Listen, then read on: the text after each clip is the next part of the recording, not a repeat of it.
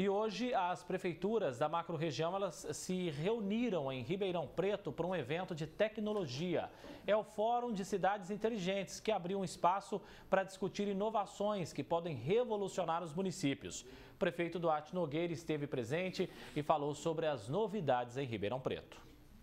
vou aqui apresentar, que é a primeira parceria público-privada da cidade de Ribeirão Preto, que é a iluminação pública concedida através de leilão na Bolsa de Valores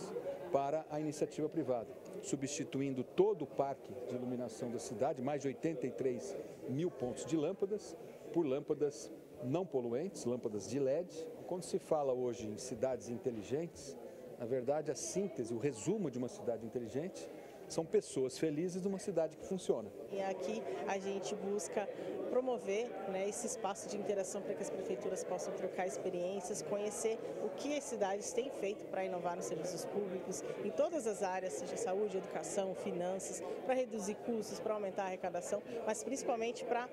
é, para melhorar o serviço lá na ponta, que é o mais importante de uma cidade. Quando a gente, quando a gente fala de cidade digital inteligente, o mais importante é a melhoria do serviço do atendimento lá na ponta, lá para o cidadão.